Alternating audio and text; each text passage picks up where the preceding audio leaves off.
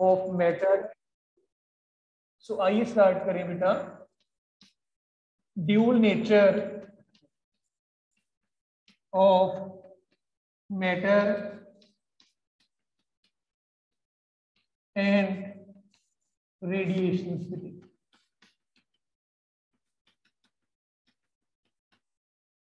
इस चैप्टर में बेटे बेसिकली हम सबसे पहले तो बेटे बात करेंगे कि हमारा जो अमिशन ऑफ़ द इलेक्ट्रॉन्स है, ये किसी भी मटेलिक या नॉन मटेलिक सरफेस से किस तरीके से हो सकता है? और रादर मैं अगर और डीप चला जाऊँ तो अमिशन से भी पहले हमारे पास बेटा जो वैलेंस इलेक्ट्रॉन्स हैं और जो फ्री इलेक्ट्रॉन्स हैं, इनमें क्या फ़र्क है? ये कैसे हम इनके साथ डील कर सकते हैं? और किस तरीके से आप बैलेंस इलेक्ट्रॉन को फ्री बना सकते हो या फ्री इलेक्ट्रॉन को फिर आप किस तरीके से फर्दर बेटा डिस्कस कर सकते हैं? सो आइए dear children with this all start करें बेटा, बैलेंस इलेक्ट्रॉन्स, ये क्या होते हैं? एंड बेटे, फ्री इलेक्ट्रॉन्स जो हैं, ये क्या होते हैं? आइए बेटी ब्रीफली जरा इनके बारे में वन बाई वन बात करें। तभी फिर हमारा जो है जो ड्यूल नेचर का कंसेप्ट बेसिकली स्टार्ट हो पाएगा बेटा। बेटे, जब भी आप किसी भी मेटल की शीट की बात करते हो इमेजिन कर लीजिए, आपके पास ये कोई मेटेलिक शीट है। इस मेटेलिक शीट में number of atoms are packed कोई अल्मीनियम का कॉपर का सिल्वर का कोई शीट इमेजिन कर लीजिए। आयरन का या कह लो आप। आपने ये इमेजिन किया। इसमें बेटे हमने जो है ये पर्टिकुलर एटम मान लीजिए चूज़ कर लिया। This is the metallic sheet एक कोई भी आप एनी एटम चूज़ कर लीजिए इसमें से। और वो एटम की अगर हम डिटेल में चले जाएँ this will be the central part of the atom called the nucleus let us imagine that this is the shell in which the electron is revolving or let let us assume that it is another shell in which still other electrons may be revolving around this particular nucleus मैं इस single electron की बच्चों बात करता हूँ बड़े ध्यान से समझने की कोशिश करिएगा डियर चिल्ड्रन न्यूक्लियस इसके ऊपर बच्चों पॉजिटिव चार्ज इलेक्ट्रॉन के ऊपर बेटी नेगेटिव चार्ज है, ये न्यूक्लियस इलेक्ट्रॉन को अपनी तरफ़ अट्रैक्ट करके रखे हुए हैं और वो जो फोर्स है दैट इज़ इक्वल टू बेटा your K Q one Q two upon R square या इलेक्ट्रोस्टैटिक फोर्स ऑफ़ अट्रैक्शन आप कह सकते हो between the nucleus and the electron बेटे। अब डियर चिल्ड्रन ये इलेक्ट्रॉन इस न्यूक्लियस के राउंड अबाउट रिवॉल्व कर रहा है, कोई दिक्कत नहीं है। और इस अट्रैक्टिव फोर्स के अंडर रिवॉल्व कर रहा है। इट्स वेल लेकिन ये इस एटम को छोड़ नहीं सकता। ये इस एटम के साथ बेटे परमानेंटली अटैच्ड है और उस अटैचमेंट की वजह ये electrostatic force of attraction between the nucleus and the electron है बेटा। अब बेटे ये जो outermost electron valence electron revolve करी जा रहा है, करी जा रहा है, इसको हम बोल देते हैं वैलेंस इलेक्ट्रॉन मान लीजिए, आप इस इलेक्ट्रॉन को इस एटम से टीयर ऑफ़ करना चाहते हैं डिटैच करना चाहते हैं तो जितनी ये इलेक्ट्रोस्टैटिक फोर्स ऑफ़ अट्रैक्शन है बिटवीन द टू आपको उतनी एनर्जी इस इलेक्ट्रॉन को दे देनी पड़ेगी। ये इलेक्ट्रॉन आपका टीयर ऑफ़ हो जाएगा इस एटम से, इस एटम से बाहर चला जाएगा। बच्चों, ये इलेक्ट्रॉन एटम से तो बाहर चला गया, लेकिन ये मेटल की शीट में ही रहेगा मेटल की शीट को छोड़कर नहीं जा पाएगा। अब जो इलेक्ट्रॉन एटम को छोड़कर इस मेटल की शीट में कहीं पे भी आसानी से मूव कर सकता है, घूम सकता है, आ जा सकता है, ये इलेक्ट्रॉन आपका बन गया फ्री इलेक्ट्रॉन बैलेंस इलेक्ट्रॉन आपके एटम के न्यूक्लियस के इफ़ेक्ट के अंडर मूव कर रहा था एटम में मूव कर रहा था रिवॉल्व कर रहा था। लेकिन फ्री इलेक्ट्रॉन क्या है? आपने उसको एनर्जी दे दी, इसको इस एटम से टीयर ऑफ़ कर दिया और ये इलेक्ट्रॉन अब इस मेटल के पीस में कहीं भी बिना रोक टोक आ जा सकता है। It is free to move anywhere within this metallic surface बेटा अब बच्चों, एक बात आ जाती है इलेक्ट्रॉन अमिशन की। अगर हम चाहते हैं कि नहीं जी, हम तो इसमें से भी इलेक्ट्रॉन को निकालना चाहते हैं, बाहर टीयर ऑफ़ करना चाहते हैं डिटैच करना चाहते हैं इलेक्ट्रॉन अमिशन चाहते हैं रातर तो आप बेटे क्या करोगे? इस इलेक्ट्रॉन को आपको कुछ एनर्जी देनी पड़ेगी ताकि वो इस मेटल के पीस को मेटल के शीट को छोड़कर ऑटोमेटिकली इससे डिटैच हो जाए। Otherwise speaking why we can say that कि ये इलेक्ट्रॉन इस मेटल की शीट को लीव करके नहीं जा सकता?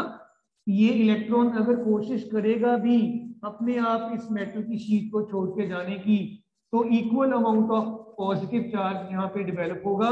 वो इसको एकदम से फिर से स्वीप कर लेगा, खींच लेगा, नहीं जाने देगा। So some restraining force is acting on the boundary of this surface जो इस इलेक्ट्रॉन को बाहर नहीं जाने देती है। इस इलेक्ट्रॉन के पास उतनी एनर्जी नहीं है कि ये इस मेटल के पीस को छोड़कर बाहर निकल जाए। और आप अगर इसको यहाँ से निकालना चाहते हैं तो आपको इस surface barrier of the attractive force offered by this surface to the out movement of the electron from the surface जो है, उसको उतनी एनर्जी जो है वो सप्लाई करनी पड़ेगी बेटा। और वो जो आप एनर्जी सप्लाई करोगे we call as the work function of the metal बड़े ध्यान से समझिएगा एक बार फिर से बेटा। हमने पहले फ्री इलेक्ट्रॉन का और वेलेंस इलेक्ट्रॉन का कंपैरिजन किया। वेलेंस इलेक्ट्रॉन आपका एटम के साथ अटैच रहता है। एटम को छोड़कर नहीं जा सकता। लेकिन बच्चों, जो फ्री इलेक्ट्रॉन है, वो इस इलेक्ट्रॉन को जब आप टीयर ऑफ़ कर देते हैं it is free to move anywhere within this metal surface वो आपका फ्री इलेक्ट्रॉन बन गया। अब आप फ्री इलेक्ट्रॉन को यहाँ से भी बाहर निकालना चाहते हैं तो आपको उस केस में इस मेटल के शीट को मेटल के प्लेन शीट को रादर एनर्जी देनी पड़ेगी ताकि वो एनर्जी इलेक्ट्रॉन ये वाला गेन करे और गेन करने के बाद सरफेस ने जो उसको रिस्ट्रिक्ट कर रखा है बाहर जाने से, उस रिस्ट्रिक्टिंग फोर्स को वो ओवरकम करके आगे चले जाएगा। इस आपकी जो एनर्जी सप्लाइड है in order to overcome that restraining force offered by the surface that is called with work function of that particular metal तो डियर चिल्ड्रन नई टर्म हमारे पास एक समझ में आती है वर्क फ़ंक्शन बेटा वर्क फ़ंक्शन क्या होता है? साथ साथ आप जरा समझिएगा भी वर्क फ़ंक्शन को आप फाइव नॉट से, या बेटे आप डब्ल्यू नॉट से जैसे मर्ज़ी भी नोट कर सकते हो बेटा। वर्क फ़ंक्शन जो है it is defined as the minimum amount of energy that must be supplied to the free electron in the given surface so that it can just leave the metallic surface without any kinetic energy, बेटा। Kinetic energy आपका electron gain ना करे just जो surface है, उसकी restraining forces को overcome करके बाहर निकल जाए that we call as the work function of that particular metal प्यारे बच्चों, एक बार फिर से ध्यान दीजिएगा, मैं आपको ये एक सरफेस बनाकर बता देता हूँ। ये इमेजिन कर लीजिएगा, कोई सरफेस है मेटल का और आपने इसको थोड़ा सा मैं थिक शो कर देता हूँ, आसान रहेगा समझने में। इसमें बेटा ये अरेंजमेंट ऑफ़ द इलेक्ट्रॉन्स और द एटम्स एज सच है इस इलेक्ट्रॉन को आप बाहर निकालना चाहते हैं। आपने क्या दिया? बाहर से इस इलेक्ट्रॉन पर कुछ एनर्जी जो है, ये अवेलेबल करवाई किसी भी तरीके से। और ये एनर्जी ई e जो है let it be equal to h nu बेटा। इस इलेक्ट्रॉन ने ये एनर्जी गेन किया। गेन करने के बाद ये बाहर निकलेगा सरफेस से। और अगर यहाँ पर जब ये बाहर निकलता है, इसकी जो काइनेटिक एनर्जी है one by two m v square ये ज़ीरो के बराबर होगी। तो जो ये एनर्जी दे रहे हो, ये जस्ट इस इलेक्ट्रॉन को मेटल की सरफेस से बाहर निकालने में यूज़ हो जा रही है। इसके पास अपने पॉकेट में कोई काइनेटिक एनर्जी नहीं है। ये अंदर आपके मेटल के शीट के अंदर जो है वो रिस्ट्रिक्टेड पड़ा था। आपने इसको एनर्जी दी एनर्जी गेन करके ये मेटल की सरफेस के जस्ट बाहर आ गया है। लेकिन इसके पास है कुछ नहीं है। कोई काइनेटिक एनर्जी नहीं है। It is not able to move at all तो ये आप इसको सरफेस से बाहर निकालने के लिए जो एनर्जी दे रहे हो बेटा, ये एनर्जी आपकी जो है, ये वर्क फ़ंक्शन के बराबर की एनर्जी है। आप इसको बच्चों फाइव नॉट से भी डिनोट कर सकते हो। और बेसिकली स्पीकिंग बेटे it is equal to h nu naught nu को आप न्यू नॉट लिखते हो, जब आप बेटे वर्क फ़ंक्शन की बात कर देते हैं बेटा। सो वर्क फ़ंक्शन एक मिनिमम अमाउंट ऑफ़ एनर्जी है, जो आप अपने इलेक्ट्रॉन को ज़रूर सप्लाई करिए, ताकि वो मेटल की सरफेस की रिस्ट्रेनिंग फोर्सेस को ओवरकम करके जस्ट बाहर आ जाए, और वो कुछ नहीं कर सकता। इसके पास कोई काइनेटिक एनर्जी नहीं है। It is not at all able to move बेटा। और डियर डियर चिल्ड्रन आपका जो ये वर्क फ़ंक्शन है, ये बेटे इलेक्ट्रॉन वोल्ट्स में मैयर किया जाता है। जो वर्क फ़ंक्शन की आप बात कर रहे हो, पुत्र, जो वर्क फ़ंक्शन है इट इज़ मैयर्ड इन बेटे इलेक्ट्रॉन वोल्ट्स बेटा। और बेटे आप जानते ही हैं कि वन इलेक्ट्रॉन वोल्ट आपका 1.6 point six into ten raise पर माइनस नाइनटीन जूल्स के बराबर होता है। इस कन्वर्शन फैक्टर को मत भूलिएगा। न्यूमेरिकल्स में इसकी ज़रूरत हमें पड़ती रहेगी। सो so अकॉर्डिंगली इसको अपने माइंड में आप रखिएगा बेटे। एक और बड़ा इंटरेस्टिंग फैक्ट है बेटा। बेटे, जितनी भी मेटल्स हैं आपकी, जैसे हो गया आपका आयरन हो गया सिल्वर हो गया कॉपर हो गया गोल्ड हो गया कोई भी मेटल आप ले लो, इन मेटल्स की सरफेस पर, ये ये मान लीजिए मेटल का सरफेस है बेटा, ध्यान दीजिएगा, ये मेटल का सरफेस है, आपने मेटल की सरफेस पर एनर्जी जो है, ये सप्लाई की in the form of the radiation हम बेटे एक बात और बड़े ध्यान से सुनिएगा, जब आप रेडिएशन फॉल करवा रहे हो तो radiation must be having some wavelength है ना बेटा? एनर्जी ई जो है that is equal to h nu होता है, और बेटे न्यू आप जानते हैं सी बाई लेमडा हुआ करता है ना बेटा? ये लेमडा डिसाइड करेगा कि आप कौन सी वेवलेंथ की एनर्जी यूज़ कर रहे हो। मैं आपका ध्यान थोड़ा सा विजिबल स्पेक्ट्रम की तरफ़ लेके जाना चाहता हूँ, जो अभी हमने प्रेजेंटली प्रीवियसली डिस्कस किया है। V I B G Y O and बेटे आर ये आपका वायलेट कलर है, ये सबसे कम वेवलेंथ का है। ये रेड कलर है, ये सबसे ज़्यादा वेवलेंथ का है। वायलेट कलर से नीचे चले जाइए, आपके पास अल्ट्रा वायलेट रीजन आ जाता है। डियर चिल्ड्रन बड़े ध्यान से सुनिएगा, जितने भी मेटल्स हैं, इन मेटल्स में से इलेक्ट्रॉन को बाहर निकालने के लिए अल्ट्रा वायलेट रीजन में आपको जो वेवलेंथ है, उनकी हेल्प लेनी पड़ती है। क्यों? क्योंकि इनकी बेटे वेवलेंथ बड़ी थोड़ी होगी, छोटी होगी, कम होगी। और अगर वेवलेंथ कम है तो ध्यान दीजिएगा बेटा एनर्जी उतना ही ज़्यादा होगा। सो इन दिस वे बेटा, बड़े ध्यान से एनालाइज करिएगा। अगर वेवलेंथ कम है तो ऑब्वियसली एनर्जी ज़्यादा होगी ना। एच तो आपका प्लैंक्स कांस्टेंट वैसे ही कांस्टेंट है। C speed of light constant है। तो डिनोमिनेटर में सिर्फ़ लेमडा ही आपके सारे इसको गवर्न कर रहा है। लेमडा सबसे ज़्यादा बेटे आपका वायलट और इससे नीचे वाले पार्ट का है अल्ट्रा वायलेट रेडिएशन का होता है।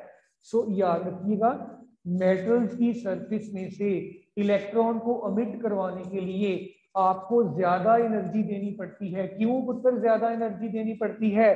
क्योंकि मेटल्स का वर्क फ़ंक्शन बहुत ज़्यादा है। ये इलेक्ट्रॉन को बड़ा टाइटली पकड़ के रखती हैं लूज नहीं छोड़ती हैं।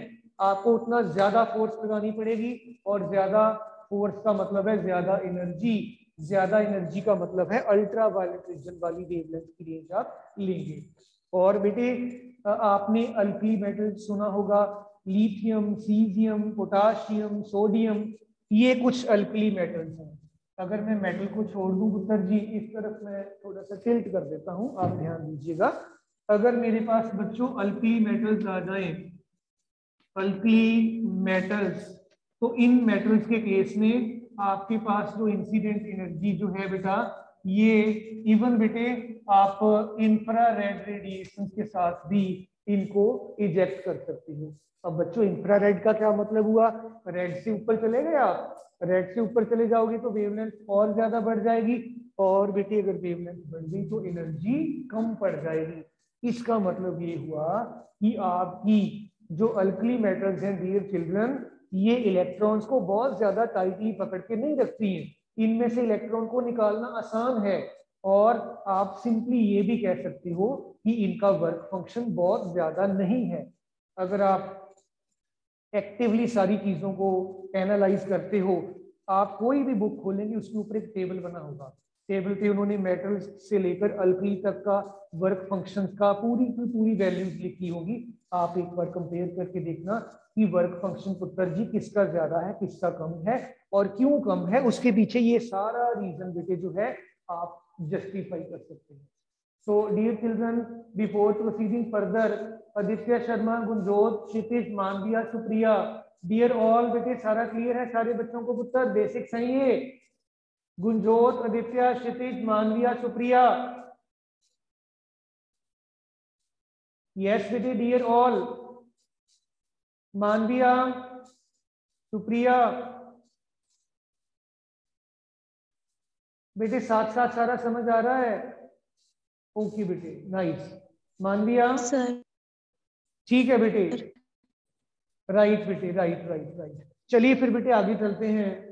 इसके बाद बेटे मैं डायरेक्टली हमारा जो एक्चुअल अमिशन का इलेक्ट्रॉन्स की अमिशन का कंसेप्ट है, उस पर बेटे फोकस करता हूँ। ये सारा आपका बेटे बेसिक्स और बैकग्राउंड था। अब आइए वर्क फ़ंक्शन आपने बच्चों डिफाइन किया। आपने ये देखा कि आपकी जो मेटल्स की सर्फेसिस हैं, इनका वर्क फ़ंक्शन ज़्यादा अल्कलीज का वर्क फ़ंक्शन कम, और आप कैसे अमिट करवा सकते हैं इलेक्ट्रॉन्स को? ये सारा आपने देखा। और बेटे आइए फर्दर बात करें इलेक्ट्रॉन अमिशन की। Electron emission. इलेक्ट्रॉन की अमिशन बेटे सरफेस ऑफ़ द मेटल्स या अल्कलीज से कैसे आप करवा सकते हैं? चार हमारे पास उत्तर मोड्स हैं। पहला मोड है thermionic emission thermionic emission second है बेटे हमारे पास सेकेंडरी अमिशन तीसरा हमारे पास है बेटे photoelectric emission photoelectric emission चौथा हमारे पास है बेटी कोल्ड कैथोड एमिशन आइए dear children one by one इनको समझें डिटेल में समझें, क्या मतलब है इनका सबका। थर्मियोनिक एमिशन पहला बेटे हमारा जो है let us focus upon this thermionic emission इसमें बेटा, आपके पास एक, ये मेटल का सरफेस है। मेटल का ब्लॉक है मेटल का शीट है। आपने बेटे इस शीट को हीट करना स्टार्ट कर दिया with the help of the burner जब आप हीट करोगे, इसके जितने भी इलेक्ट्रॉन्स हैं, जितनी भी आप हीट एनर्जी सप्लाई कर रहे हो, वो फ्री इलेक्ट्रॉन्स को बेटे बराबर डिस्ट्रीब्यूट होती चली जा रही है। आई होप इलेवेंथ स्टैंडर्ड में आपने एक प्रिंसिपल किया था principle of equipartition of energies उसमें आपने कहा था each degree of freedom gases के केस में बात कर रहा हूँ मैं। गैसेस के केस में ईच डिग्री ऑफ़ फ्रीडम जो है, उसको बराबर की एवरेज एनर्जी मिलती चली जाती है। And that you have discuss to be equal to one by two one by two k B p k is Boltzmann constant अगर मैं बात करूँ one by two k B T आपने इतना एनर्जी एक डिग्री ऑफ़ फ्रीडम को दिया था। अगर मोनोटोमिक गैस थी तो आपने अलग निकाला, डाई के लिए अलग ट्राई लीनियर के लिए अलग ट्राई नॉन लीनियर के लिए अलग, वगैरह वगैरह आपने बहुत करा हुआ है। तो मेरे कहने का मतलब ये है कि इंटरनल एनर्जी या एनर्जी जो सिंपली आपके मॉलिक्यूल्स के पास है या एटम्स के पास है या इलेक्ट्रॉन के पास है बच्चों, ये डायरेक्ट टेम्परेचर के ऊपर डिपेंडेंस शो करती है। आप इसको ऐसे गैसेस के केस में अगर शो करते हैं तो it is equally applicable for the liquids and the solids also energy is directly dependent upon the temperature अब आप क्या कर रहे हो? गर्म कर रहे हो सीधा सीधा इसको। गर्म करोगे, इसका टेम्परेचर बढ़ेगा। टेम्परेचर बढ़ेगा तो हर एक इलेक्ट्रॉन की एनर्जी बढ़ेगी। अगर बच्चों एनर्जी बढ़ गई तो आपकी सरफेस के बैरियर को ये एनर्जी ओवरकम कर जाएगी। इलेक्ट्रॉन बाहर निकल जाएगा। इसको बोल देते हैं? डियर चिल्ड्रन थर्मियोनिक अमिशन सीधी सी बात है, आपके पास मेटल का ब्लॉक है, इसको आग के ऊपर रख दीजिए फ्लेम के ऊपर रख दीजिए, गर्म होना रख दीजिए, इसमें से इलेक्ट्रॉन की एमिशन जो है that is called thermionic emission इसके बाद dear children let us come to the second case we have secondary emission beta let us focus upon this beta secondary secondary emission secondary emission में बेटा imagine करिए, ये मेरे हाथ के ऊपर एक चौक का पीस जो है, ये रखा हुआ है मैंने। और मैं चाहता हूँ कि इसको यहाँ से हटा दिया जाए। एक मेरे पास और चौक का पीस है, मैं इसको ऐसे से ट्राई करता हूँ तो दोनों ही मूव कर गए इस सिचुएशन में क्या है, आप एक हाईली इनर्जेटिक इलेक्ट्रॉन को बाहर से, जो मेटल की सरफेस में इलेक्ट्रॉन है, उसके ऊपर से ट्राई करवा देते हो। आइए देखें डियर चिल्ड्रन ये मेटल का सरफेस ये मेटल का ब्लॉक या शीट इसमें ये आपके सारे के सारे बेटे जो है इलेक्ट्रॉन पड़े हैं। ये इलेक्ट्रॉन को आप बाहर निकालना चाहते हैं। आपने एक हाईली एनर्जेटिक इलेक्ट्रॉन को यहाँ पे सप्राइज करवा दिया, और ये इलेक्ट्रॉन जो है यहाँ से इजेक्ट हो जाएगा, निकल जाएगा बाहर। ये खुद तो जा ही रहा था बेटा, साथ ही एक और इलेक्ट्रॉन को बाहर निकाल देता है। ये खुद तो जा ही रहा है। This is called secondary electron secondary emission rather so बेटे सेकेंडरी एमिशन में क्या है? आप एक हाईली इनर्जेटिक इलेक्ट्रॉन को इस मेटल के सरफेस पर सप्लाई करवा देते हैं, जो इलेक्ट्रॉन इसमें रिस्ट्रेनिंग फोर्सेस ने कैप्चर करके रखा हुआ है, ये इलेक्ट्रॉन खुद तो बाहर जा ही रहा है, एक इलेक्ट्रॉन को भी अमिट करवा देता है। दिस इज़ नो बेटा आप इलेक्ट्रॉन को with the help of the secondary emission emit करवा सकते हैं। आइए बेटे अब थर्ड केस की बात करके देखें नेक्स्ट केस की बात करके देखें। We have photoelectric emission बेटे। Us see what do we mean by बेटा photoelectric emission. C part है.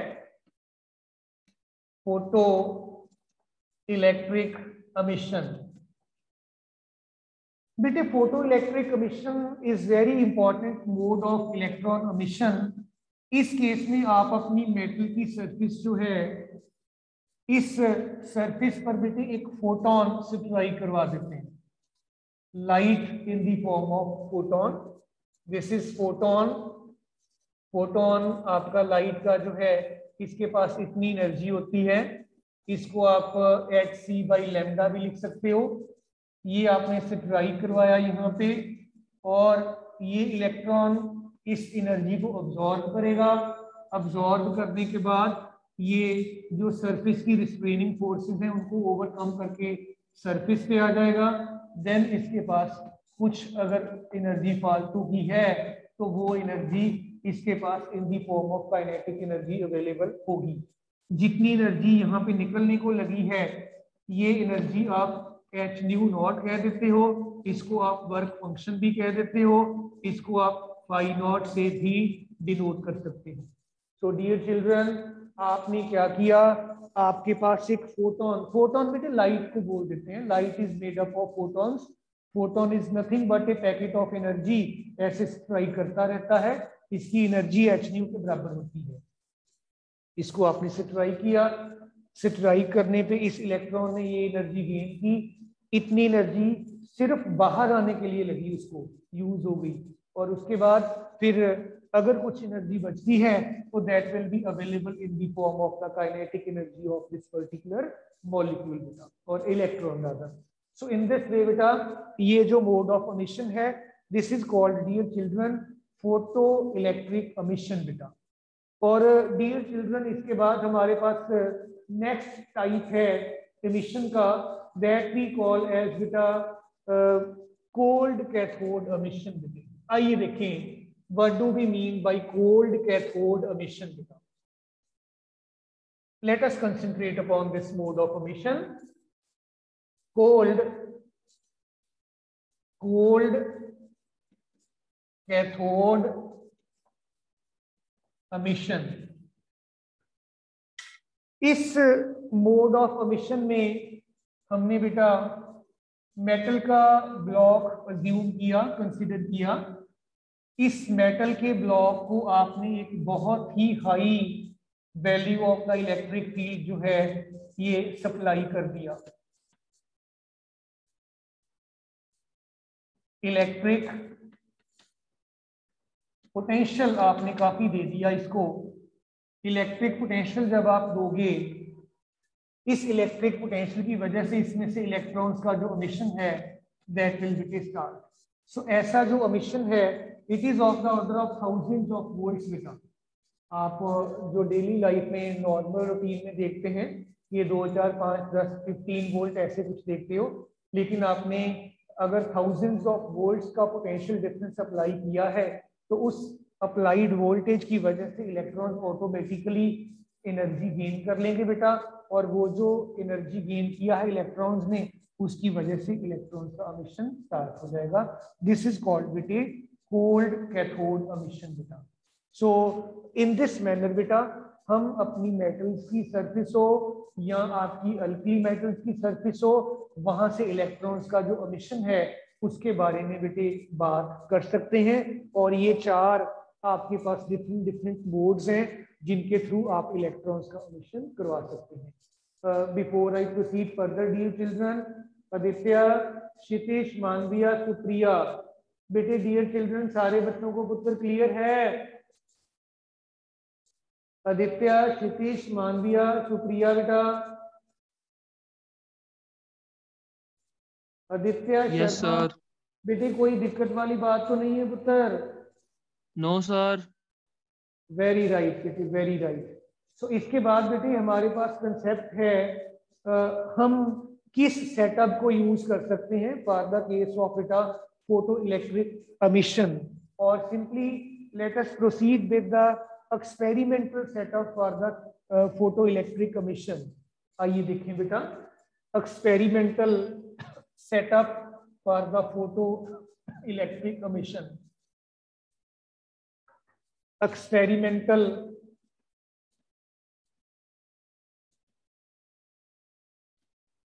setup